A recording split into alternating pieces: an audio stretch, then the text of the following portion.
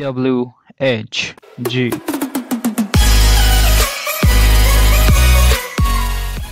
दोस्तों, आपने आमतौर पर टेनिस एथलीट और फुटबॉलरों को क्रिकेट में हाथ आजमाते हुए तो देखा ही होगा।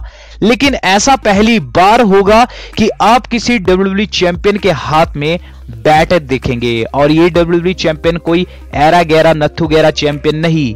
ये है 16 टाइम वर्ल्ड चैंपियन यानी जॉन सिन्हा। जी हाँ दोस्तों, जॉन सिन्हा को देखा गया ऑस्ट्रेलियन ऑलराउंडर शेन वॉटसन के साथ। दरअसल दोस्तों, इन तस्वीरों में जैसे कि आप देख रहे हैं कि जॉन सिन्हा ने कैसे हाथों में बैट थामा हुआ है और वो बैटिंग कर रहे हैं। दरअसल शेन वॉटसन से हुई इस मुलाकात के ठीक बाद शेन वॉटसन ने भी अपनी खुशी ट्विटर पे जग ज़ाहिर की। दरअसल दोस्तों, जॉन सिना इस पिछले वीकेंड ऑस्ट्रेलिया आए हुए थे अपनी अपकमिंग मूवी फर्डिनेंड की प्रमोशन के लिए, जहाँ दोस्तों वो ऑस्ट्रेलिया के कई मशहूर स्थानों पे गए और वहीं वो गए सिडनी के एक मैदान में, जहाँ बिग बैश की एक टीम यानी सिडनी थंडर्स ट्रेनिंग कर रही थी। वहीं दोस्तों, जॉन सीना ने अपनी फ़िल्म की प्रमोशन भी की और साथ ही साथ क्रिकेट भी खेला।